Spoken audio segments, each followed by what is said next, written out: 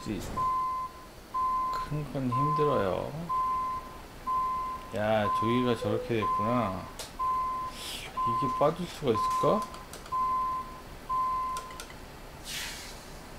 반대로 틀어야지.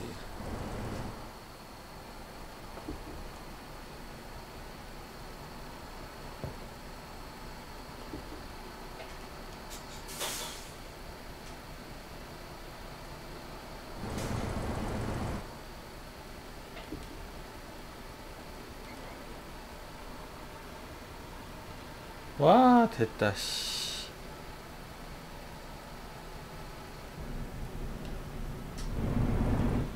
와, 큰 차는 정말 힘들어요.